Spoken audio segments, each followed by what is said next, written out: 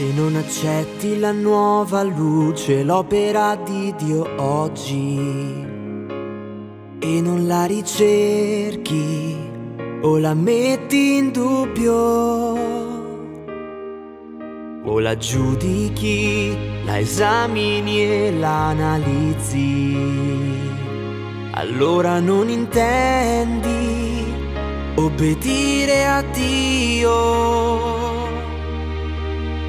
Quando appare la luce del qui ed ora, tu apprezzi ancora la luce di ieri e contrasti la nuova opera di Dio, sei soltanto uno stolto di quelli che volutamente si oppongono a Dio per obbedire a Dio. La chiave accettare la nuova luce e riuscire ad apprezzarla per obbedire a Dio.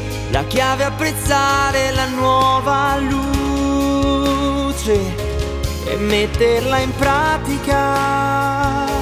La chiave per obbedire a Dio è praticare la nuova luce. Solo questa è vera obbedienza. Quelli a cui manca la volontà di anelare a Dio sono incapaci di disporsi all'obbedienza a Dio, sanno solo porsi a Dio sanno solo opporsi a Dio, perché sono soddisfatti lo status quo. Per obbedire a Dio, la chiave accettare la nuova luce e riuscire ad apprezzarla.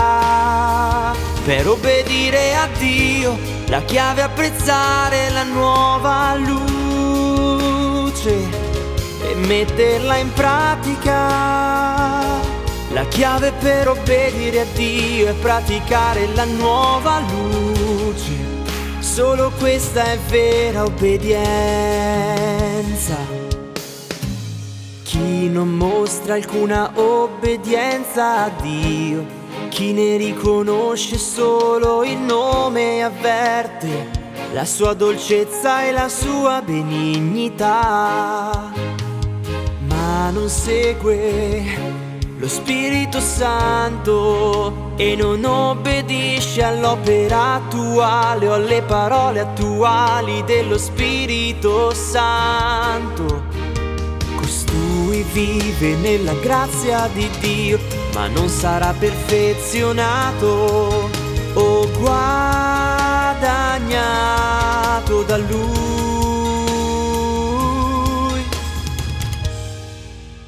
Per obbedire a Dio, la chiave accettare la nuova luce e riuscire